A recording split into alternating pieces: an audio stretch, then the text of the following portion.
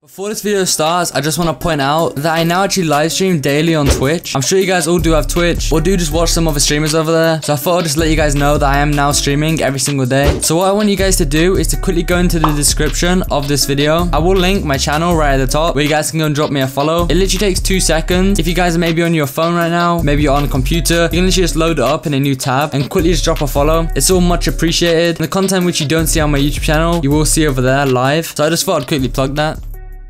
Yo guys, what is going on? It's your boy Fxtch here, back with a brand new YouTube video. In today's video, we're going to be talking about optimal keybinds within Fortnite. And also, I'm going to be telling you guys what I believe are the most optimal keybinds you guys can be using for Fortnite Chapter 2, Season 2. I know I did just in fact make a video, like a whole Fortnite settings video going through my whole settings, but the video was kind of long. So this video is going to be solely dedicated just towards my keybinds, which I only showed at the end of that video. So I'm sure many people did not see. But trust me guys, you will want to stick to the end and take these on board. And if you have been looking to change your binds, these will be the binds you will want to change to. I will explain obviously more about that. If you guys do go ahead to enjoy the video, you know what to do. Drop a like for me, subscribe with post notifications turned on. Therefore you never miss an upload just like this on the channel. Dropping a like really does support the video. Probably a lot more than you think. Takes literally two seconds. So I would appreciate if you guys could do that. Remember code FETCH in the Fortnite item shop. You can send me proof on my Instagram of you guys using my code for a shout out in one of my videos. So the only shout out I actually have for today is a guy called Jim King. Your name is on screen, shout out to you for using my creator code. But with that all said and out the way, let's hop straight into the video.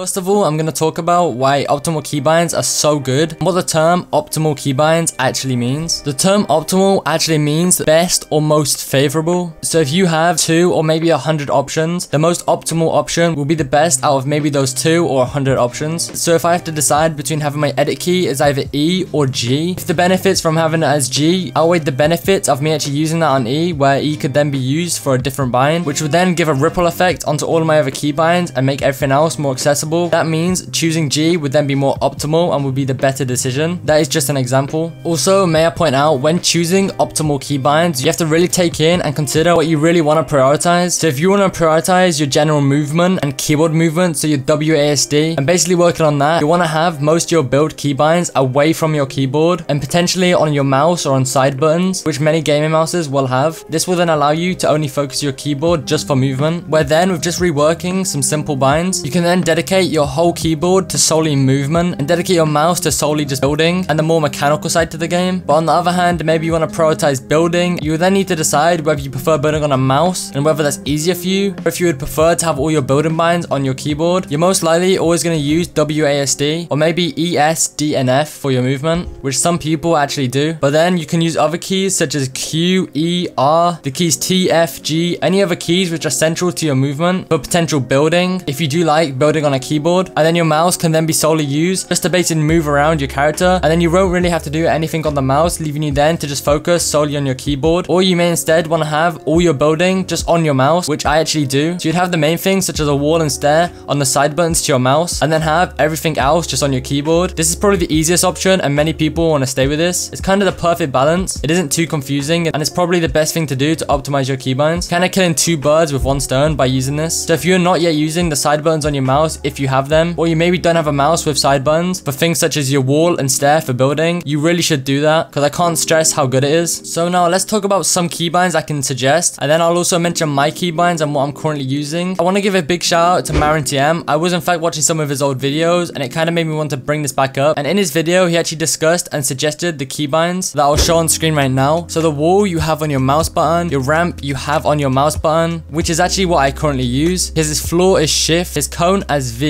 or alternatively any other bind which can be reached with your thumb. Then his edit as either E or F and his pickup as scroll wheel, which is kind of an unusual one. He also mentioned that these binds are used because it allows constant control of WASD keys, which does allow for quick combinations and snappy movement when you're doing things such as a Mongraal Classic or making fast edits in maybe box fights. And that's solely because the wall and stair are actually on your mouse and mouse buttons, which allows you to focus the main mechanics or pieces you'd usually use for a Mongraal Classic solely on your mouse Basically just allows you to perfectly set up techniques such as the Mongraal Classic, as I've already mentioned. And now this is where I'm going to tell you guys my binds and what I'm using. So I do actually have my wall and stair as my side buttons for my mouse. I do use the Logitech G Pro, and these do have side buttons, as you can see. So this is what I use for my wall and stair. I do have my edit bind as G, which is a default edit bind. I know many pro players do actually use the edit bind on G. Clix, who is insane at editing. He's known for his snappy mechanics. Actually does use his edit bind on G. And I do have a 60% keyboard, which makes this more accessible and a little bit nicer to use. I have my pickup as the default, which is also E. I have my reload as R. I do use the normal movement binds, which is W, ASD. F is actually my floor. T is my cone, and I have V set to a trap. And they are basically all my building binds. Everything else is kind of self-explanatory, and you can just rework yourself based on the binds I've given you. My binds, I believe, are probably the best optimal keybinds you can currently use in Fortnite. I did mention this in my Fortnite settings video. I have actually been using these keybinds since I started playing Fortnite. I started in season 3 and played all the way till season 6 on a console. And when I switched from season 6 to now, which is chapter 2, season 2, I've been using these exact keybinds and haven't went back. They are literally that good and I've progressed so much as a player using them. And that literally does bring me to the end of the video. That is all I wanted to talk about. And all I really wanted to do here is actually discuss my binds, share them to you guys, and maybe you can go out your way and use them. So if you want to use them, you do have to just go back on the video, pause, and just simply copy the binds. They're honestly super good. I can't vouch them enough. I do highly recommend you guys do just give them a try. They are also super easy to get used to. If you did go ahead to enjoy the video, you did get to this point, I'm surely doing my job right. Dropping a like would really mean a lot. Comment down below, let me know what you guys think about these keybinds and if you're going to give them a try. Remember, you can subscribe with post notifications turned on, therefore you never miss an upload on the channel. But with that all being said, I hope everyone has a great day. I hope everyone is staying indoors. Been your boy Fxtch, and yeah,